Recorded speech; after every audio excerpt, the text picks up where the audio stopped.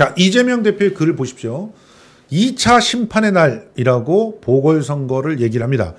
영광, 곡성, 부산, 금정, 그리고 인천, 강화. 네. 이네 군데서 진행되는 선거가 단지 한 명씩을 선택하는 선거가 아니라 정권에게 민심의 철퇴를 어, 가해주는 그런 절호의 기회다. 네, 네. 주인 역할을 제대로 하는 것이 주권자의 책무이다. 네, 단호한. 주권, 주권 의지가 담긴 투표야말로 주권자의 가장 강력한 무기다. 이렇게 강조를 했습니다.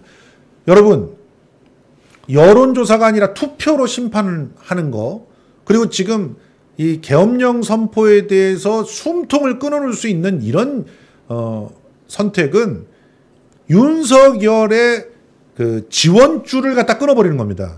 그 지원줄을 끊어버릴 수 있는 방법은 이제 레짐 체인지가 되는구나.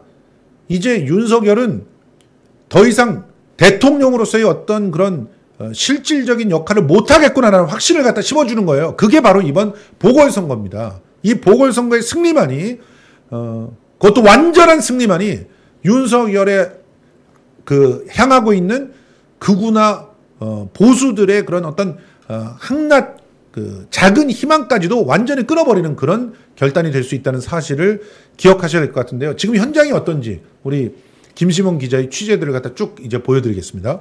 예, 일단 그 어디부터 갈까요?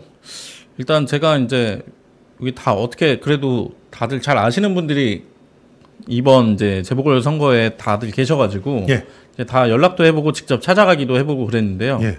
일단 첫 번째로 이제 강화, 아 강화도 그리고 이제 뭐 금정구 뭐 이렇게 얘기를 듣기 전에 예, 영광부터 먼저 가겠습니다. 예. 영광 먼저 가보겠습니다. 김대중 총재께서 영광에서 화장실 한번 와보지 않은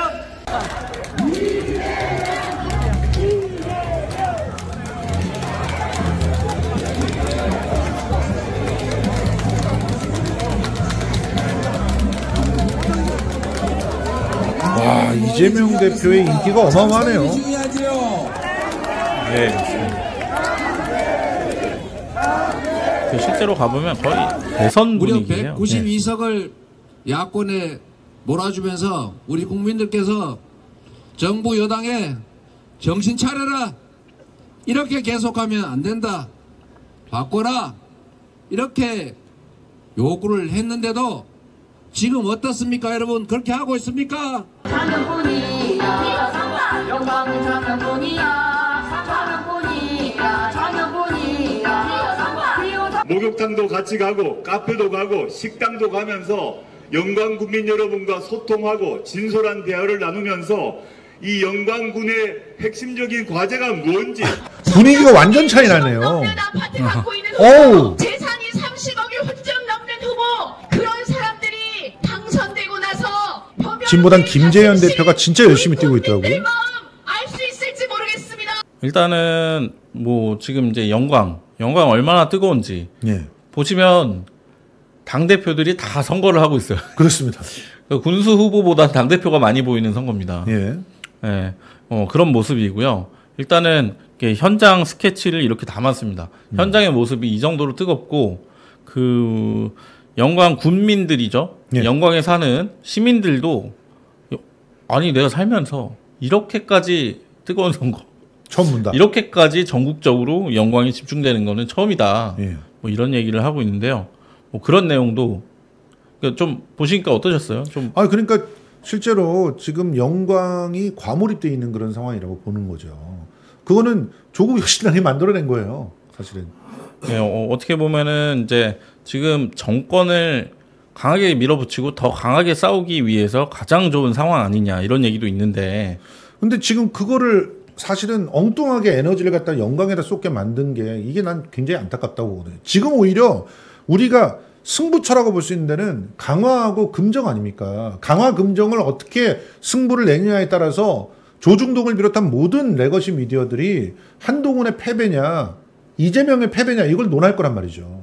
그런데 거기다 대고 조국이 영광에다 불을 질러 버렸잖아요. 그 뭐 긍정적으로 보면 뭐 경쟁을 통해서 또 이제 뭐 이 선거가 조금 더 알려지는 뭐 계기도 됐겠지만 예. 아무래도 뭐뭐 대다수의 국민들 의견은 어, 좀더 이제 정권 교체라든지 정권을 심판하는 그런 역할에 이제 좀 많이 집중을 더 하는 게 예. 물론 경쟁도 좋지만 예. 뭐 결국 뭐 나쁘다는 건 아닌데 예, 그런 생각도 많이 하시지 않을까 싶어요. 예. 그리고 자, 예. 사실 지금도 보실 텐데 우리가 생각하는 것만큼 또 영광에서 민주당이 녹록지 않는 상황입니다. 예. 한번 예, 영상으로 보시죠. 네, 확인하시죠. 계속 이어 나갑시다. 예. 탄핵 정국에 약간 그 공천 개입이라든지 이런 얘기 나오는 만큼 그런 국감이라든지 이런 거에 집중해야 되는데 너무 이렇게 여기에 장력을 집중하는 거 아니냐 뭐 이런 얘기도 있는데 어떻게 생각하세요? 맞아요. 지금 그 전부 다 지금 내려서 여기서 선거운동 어디 키우는데 많이 마음이 바뀌는 주제 같아요. 이게 아 마음이 바뀌려고 그래요? 네. 아, 민주당이 잘 못했나요 그동안? 늘 선거 때는 보여주기 위한 것이 이제 끝나고 나면 똑같잖아요. 아 그럼 좀 바뀔 필요가 있다라고 생각을 그런 하시 생각을 하시는 분들이 있더라고요. 그래서 아. 네, 안전운전 하시고요. 기호 1번 장세일에게 한 표 꼭좀 부탁드 립니다. 이번 주 금요일과 토요일에 사전 투표가 지난 근데 지금 현재 구수를 뽑는 것 자유로 이재명 저 대- 대표님을 살리기 위해서 지금 예. 정부에 대한 난리잖아 지금. 네네. 근데 하여튼 이제 여가 유리하지 지금 현재. 어떤 분이 되더라도 영광 어떻게 저 영광 국민을 살려야지 본인들만 살할 것이 아니라 그렇게 생겼어요. 어쨌든 지금 선거 열기가 뜨거워지고 아 그렇지. 영광 주민 입장에서는 지역 주민 입장에서는 뭐 이렇게 나쁘진 않다. 그렇지 그렇지. 서로 경쟁해야 돼요. 아, 경쟁해야 경쟁, 어, 된다. 경쟁 안 하면 안 돼요. 이게 친구들하고 이렇게 만나서 숫자 보다도 네. 다 달라요. 아, 다 전에는 달라요? 많이 같았는데 네. 지금은 서로 말은 잘안 네. 해요. 선거 이게 음. 누구 찍을지에 대해서 서로 말을 좀 잘 안 아. 잘안 하는 편. 지금 구수 선거인데 이렇게 많은 국회의원이 내려온 적은 처음 봤어요. 민주당은 원래 이가 텃밭이고 네네네. 어, 그리고 진보당은 이제 어, 그냥 진보당하고 내가 봤을 때는 진보당하고 조국신당하고 거의 비슷한 상황이거든요. 네네네. 예, 이것이 박빙이 아니겠는가 이 지금 생각은 내 생각이 그래요. 진보당 바람이 장난이 아니네요. 어, 태풍이요. 그러면 민주당은 문자 나타나고 그 뭐 민주당 애가 민주당 옛날에 아니에요. 아니에요. 예, 이게 한계가 있어. 아, 뒤집을 수가 없어. 민주당은 내세울 게 없어. 후보도 좀 그렇고. 어, 후보가 마음에 안 들어. 진보당은 태풍을 좀 몰고 가는 거야. 네, 그, 그런 네. 의견이 있어요. 조국혁 신당. 뭐 나머지 내용들은 예, 더 궁금하시면 어, 영광 민심이라든지 영광에 있는 이제 뭐 선대위원장, 뭐 한준호 최고위원 영광살이 좀 했었잖아요. 하고 있잖아요. 뭐 이제 가보시면 인터뷰 다 있고요. 유탐사에서 확인하시면 되고 일단은 영광은 좀 그렇습니다. 이제 말씀하신 것처럼 지금 보신 것처럼 뭐 민주당이 뭐 아주 우세한 것도 아니고요. 조기혁 신당이 그렇다고 막 바람이 뭐, 어, 뭐 세긴 한데 또 어마어마한 것도 아니고 완전 압도하는 것도 아니고 진보당은 태풍으로 불리고 있어요. 또 그런 이제 정말 삼파전이 이렇게 생성되고 있는데 예. 그, 그이 이슈가 어떻게 보면 이제 선거를 관심 있게 하는 엄청 큰 요소로 작용한 건 맞습니다만, 어, 사실 전국적으로 봤을 때는, 어, 강화라든지 금정에서의 지금 좀 변화가 많이 두- 눈에 들어오게 되는 게 현실입니다. 자, 그러면 영광은 지금 사실상 어, 여, 여러분들이 느끼셨겠지만 진보당과 민주당이 싸웁니다. 이렇게 볼 수가 있는 것 같고 몰라요. 결과 나오기 전까지 아무도 알수 예. 없습니다. 그런데 뭐 어, 현장 분위기는 굉장히 뜨겁다. 삼파전이 이렇게 네. 정리를 하실 수가 있고요. 그리고 그 강화로 가볼까요? 강화가 진짜 희한합니다. 제가 바로 김포라서 강화 옆에서 강화 분위기를 갖다 좀 느낄 수가 있는데 지금 강화가 뒤집어지고 있어요. 그리고 강화는 그 지금 또 방금 전에 국방 이슈 좀 다뤘는데 외교 안보 예. 그 되게 그 남북 관계에서도 되게 스트레스 많이 받을 지역이잖아요. 그렇죠. 근데 기존에는 이런 그 긴장감이 오른 이 남북 관계가 어 상당히 이제 정부 여당에 좀 이제 도움이 되곤 했어요. 이제 국민의 힘이라든지. 근데 지금은 아닙니다. 너무 힘들다고 너무 힘들다고 하고 이제 마주 보고 있는 세 집의 사람들이 사실 알고 보니까 민주 권리당원이었던 거예요. 아, 그래요? 근데 서로 몰라. 어. 왜냐하면 누군가가 민주당원이라는 걸 알면 지역 내에서 약간 이제 뭐 그 뭐라 그럴까요?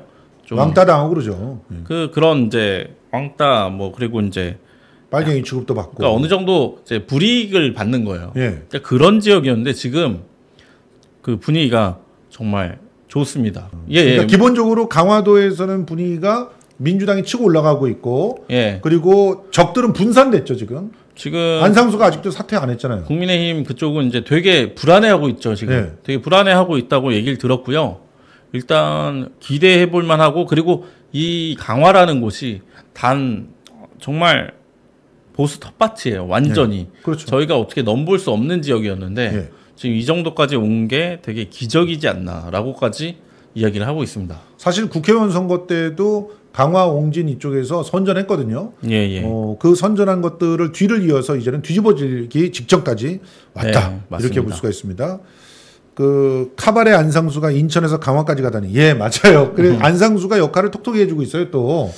그래서 이 안상수가 표를 얼마나 뺏어갈지도 포인트다 뭐 이렇게 얘기를 하고 있는 상황인데 생각보다 힘은 못 쓴다면서요. 생각보다 선거 유세하는 데에서 네. 이게 조직력도 조금 부족하다는 예. 평가를 받고 있고요. 예. 어, 저는 너무 깜짝 놀란 게 되게 급하고 힘들고 뭐 이럴 줄 알았는데 오히려 지금 민주당 선거 유세하고 있는 그 선거 캠프는 즐겁게 일하고 있답니다. 예. 즐겁게 이 상황 자체를 즐기면서 낙관적으로 좀, 좀 마음 편하게 하고 있다고. 예. 금피소님 정말 고맙습니다. 아 이렇게 또 근데 지금 또 다루겠지만 금정 부산에서 그리고 강화에서 그러니까 뭐 영광은 뭐, 뭐 민주당이 안 되더라도 사실 전국적으로 보면은 그래도 뭐 진보석 진보적인 색채가 뚜렷할 텐데 예. 근데 금 부산에서 바뀌고 강화에서 바뀌면 거기는 완전 국민의힘이 항상 당선되던 곳이잖아요. 그렇죠. 그렇다 보니까 이건 느낌이 다른 거죠. 변화의 시작인 거죠. 이제. 맞습니다. 자 그러면 그 가봅시다. 그 금정으로 가볼까요? 어, 제가 오늘 이제 금정구청장 후보 김경지 후보님하고 이제 전화 통화를 했습니다. 예. 전화 인터뷰를 했는데 한번 들어보시죠. 오늘 마지막 유세 일정이죠. 예. 네. 좀 기분이 좀 어떠신가요? 어, 네. 제가 그 선거 운동을 하면서 네네. 어, 저 자신도 놀랄 정도로 어, 검정구 변화와 그리고 윤석열 정권에 대한 해초리를 들어달라는 네. 주민들의 요구가 생각보다 굉장히 높았습니다. 아 그래요. 어 금정구가 네. 그 보수 텃밭인데도 상당히 이제 주민들께서 네. 어 네네. 그런데 이제 그만큼 그동안 응축되었던 네. 이런 부분들이 나오고 있는 부분도 있고 그러나 이제 조금 전에 말씀하신 것처럼 어, 우리가 어, 어떤 결과를 장담하기가 어렵다고 그럼에도 불구하고 네. 조심스러운 것은 아무래도 선거는 조직이라는 부- 부분도 중요한데 네. 보수 국민의 힘이 네. 어, 마- 선거 막판에 조금 빠른 속도로 결집하고 있는 게 네. 네. 어, 보여서 네. 조금 유보적으로 그리고 저도 마지막까지 최선을 예. 다하고자 합니다. 이번 재보궐 선거가 다른 때보다 네. 워낙 또 이제 사람들의 시민들의 관심이 많이 집중되는데 뭐, 네. 뭐 영광도 있지만 어떻게 네. 보면 이제 부산에서의 변화가 조금 더 크게 와닿을 수 있을 것 같아요. 나중에 돌이켜 아 보면 물론입니다. 네 물론입니다. 이런 이제 금정구가 이런 변화가 생긴다는 거는 어떤 의미라고 보세요? 예. 그 정도로 이제 들끓고 있고 그리고 임계치에 다다르고 있는 이런 이제 변화에 대한 기대를 저는 보았고 그리고 다만 이 부분에 대해서 변화를 조금 네. 더 효율적이고 적이고 네. 그리고 안정적으로 추진해 달라 이런 그 기대도 좀 있습니다 주민들의 네네. 그좀 기억나는 유권자가 좀 있나요? 예. 제가 그, 그 전날, 어제가 아닌, 어, 14일 날 새벽 2시에, 네. 2시 반에 어느 로타리에 야광 조끼를 입고 서 있었는데 네. 40대 유권자분께서 지나가시면서 네. 어, 당신이 이렇게 서 있는 자체 만을 봐도 내가 네. 눈물이 난다. 아, 네. 라는 말씀을 하시는 걸 듣고 예.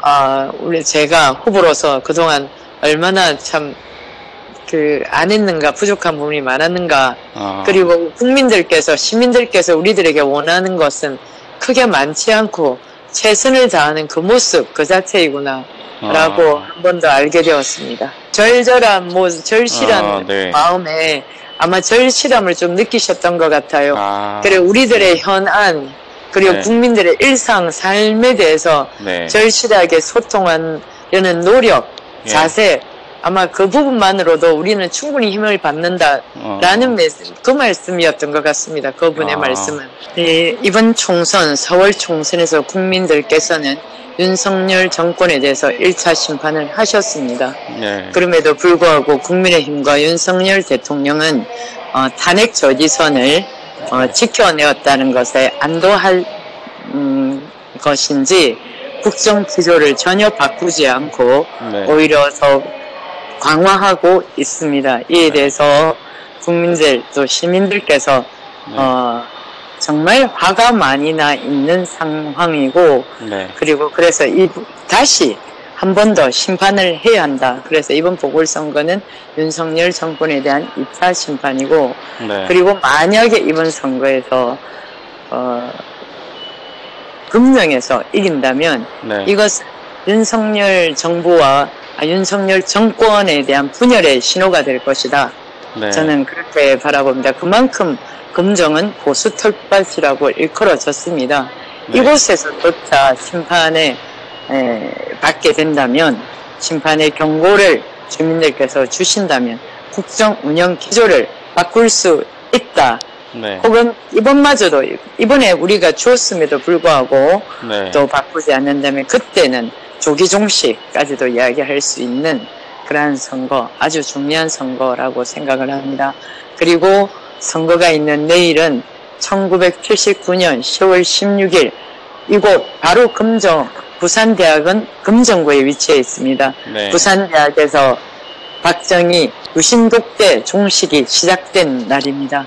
부망생 기념일에 진행되는 이번 금정구청장 보궐선거 네. 반드시 이겨야 하고 이길 수 있습니다. 어, 시청자 여러분, 금정구 지인 찾기와 지인들에게 전화 한 번 더 해주시기를 간절하게 요청드립니다. 우리는 이길 수 있고 이겨야 합니다. 도와주십시오. 감사합니다. 뭐 지금 그 김경지 후보의 입장에서는 뭐 간절하게 호소하고 한 표라도 더 네. 어, 밀어주십시오 이렇게 얘기를 하고 있는데 네. 뭐 사전 선거가 지금 20% 정도 지금 투표를 네네네. 했잖아요. 네네. 부산에서는 그 웬만한 총선 이상의 예, 예. 수준 거의 대선급에 맞먹는 그런 사전 투표율이 최근 들어서 한 이틀 전부터 예. 상당히 결집하는 분위기가 있다 그래서 뭐 조금 그런데 그거- 지금. 지금 48시간 무박으로 지금 마지막 유세를 하고 있으니까요. 예. 어좀 뭐 지인 찾기나 뭐 어쨌든 이제 민주사회 시민 여러분들도 많은 역할 해주시면 좋을 것 같고 그리고 잊지 말아야겠죠. 이제 서울시에도 선거가 있잖아요. 예. 서울시 교육감 선거. 네. 이 교육감 선거가 너무 지금 관심이 없어가지고 예, 안타깝습니다. 예. 유동규가 그랬대요. 서울 교육감 선거만 이겨도 우리가 이겨 이런 식으로 네. 어디 어디 그 어, 이상한 이찍 유튜버에 나가서 그따위 얘기를 했다고 그러던데 그러니까 유동규 이 자식은 완전히 그냥 그냥 민주 진보의 적이 돼버린 겁니다. 그렇게 검찰과 한편이 돼버린 새끼예요. 어?